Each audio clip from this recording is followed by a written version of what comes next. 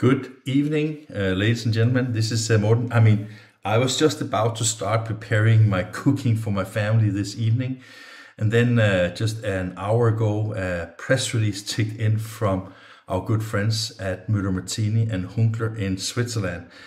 And uh, freaking breaking news, to be honest. Uh, news that can have consequences way beyond uh, a lot of things. And I just wanted to give my little input on on what is actually going on right now. So first, let's what is uh, what is the press release about? The press release is about that uh, uh, Hunkeler has been acquired by Müller Martini. And as such, that is not such a big surprise because if any company should acquire Hunkeler, uh, Müller Martini is definitely a, a, worthy acquire, so to speak. First of all, few miles from each other, uh, uh, uh relations that go um, uh, centuries back. Uh, as you know, Hunkeler celebrated the 100 years anniversary last year. And uh, if Müller Martini doesn't go back as much, uh, I think it's even longer. Uh, in the, both in the pursuit of making cars and rifles and a lot of other things, and then ending up being, let's see, one of the superior um, manufacturers of uh, binding equipment in the industry. So uh, having, and I mean, I even think that they have family ties even today. Um, so it, I mean, from that perspective, not a super big surprise. One of the things, of course, you can always think about is what does it mean for customers and what does it mean for the market? And um, uh, that is, uh, is a little bit more tricky question because, uh, of course, I hope to at some point to have a chat with uh, uh, Volker Leonhardt uh, from the CEO of Müller Martini. The first information that we got and the market got was basically that the two companies will uh, continue with the same staff, with the same, I mean, Hunkeler Innovation Days, as a lot of us are interested in, it will keep existing and, and be something that we can look forward to in, in uh, 2025. But there's a few things that I was like thinking of what happens in the industry. Because if you think of this for a second, Müller Martini has their own distribution in, for example, America, North America, right? And uh, Hunkeler has been distributed for years with Standard Finishing together with Horizon, right? But now the situation is that uh, Horizon and Müller Martini is probably the two biggest competitors to each other. So will what will now happen? Will Hunkeler be distributed by Müller Martini in the future? And what will that do to standard finishing? What will it do to Horizon? And uh, just think of this for a second. It can have pretty big consequences because also I think there's a quite a few of the Tecnau installations that have been uh, combined with uh, equipment also from Müller Martini. But now Müller Martini is also uh, selling and, and producing and, and, and the owner of the the hardest competitor to Tecnau, namely the Hunkeler thing. So I think the dynamics in the market will change quite a lot uh, because of this acquisition here.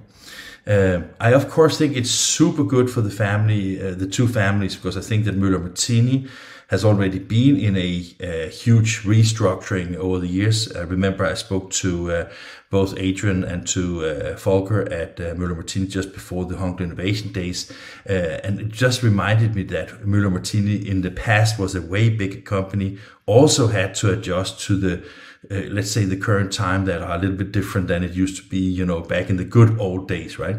Um, so, so of course, I think that I think this is a brilliant move, and I think it's it's great that two fantastic companies like Müller Martini and, and Hunkeler uh, join forces because I think it will be an advantage for the customers uh, in the future.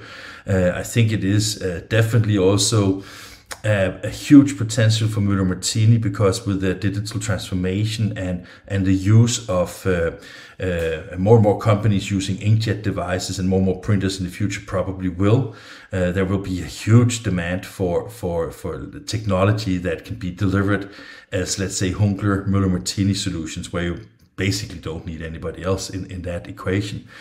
Um, it will also probably give tighter uh, integration opportunities as uh, both companies are uh, working really deep into books of wine, to production of wine, to also starting to become like competitors in some few segments. But that will, of course, be eliminated now. So that basically means that that the the the the, the products developed by both companies will probably be aligned uh, so they fit uh, the market needs. And instead of having a competitor two miles down the road, now you have a very good friend where you can share resources and share ideas and innovation. And uh, can't help think about that. Just two days ago, I wrote a short notice on INKISH News about uh, Hunkeler receiving the IHZ innovation uh, prize uh, in in Switzerland for the the the Starbook plow folder, and and again it's it's just amazing what happens right now.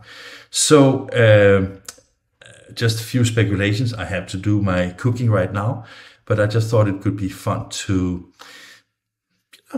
very fast and very uh, let's say initial analysis of the situation and uh, for the market, I think it's a great opportunity uh, for standard finishing, and and and uh, I'm, I'm curious to see the response from you guys. Uh, uh, and I, all I have said to now is uh, pure speculations. I just think they're quite logic in the sense that if you acquire a company like Hunkeler and you have your own uh, sales and distribution and service organization in America, you also have Andy Fetherman, which is uh, the CEO of, of uh, Müller Martini America, a great guy with uh, many years uh, um, member of the organization uh, and really understand the market.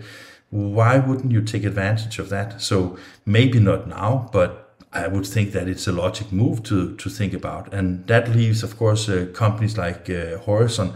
Should they have their own distribution? Should they uh, maybe even acquire standard finishing if it's for sale? Uh, I mean, it everything is turned upside down, and uh, I can't help think about how uh, how exciting these changes are and what it means for the industry as always, I think that uh, these kind of, uh, let's say, consolidations in the industry uh, is a huge advantage for the industry and for for the customers, and that will bring better products to the market, uh, more competitive price because that is what it needs when you have competition in the market, and maybe even new players in the market will will uh, occur after uh, these announcements.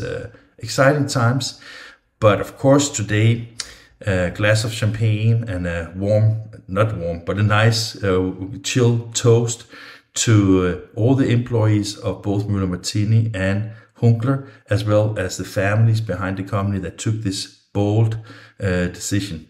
And I can't remember if I mentioned that in the beginning of this video, but I, it was kind of funny because at Innovation Days, I said to Michel Hunkeler for fun, I said to him, you should merge with uh, with uh, Müller Martini because that would make sense. And uh, I don't think they took my advice, but I think the logic was there already. And uh, again, congratulations, guys.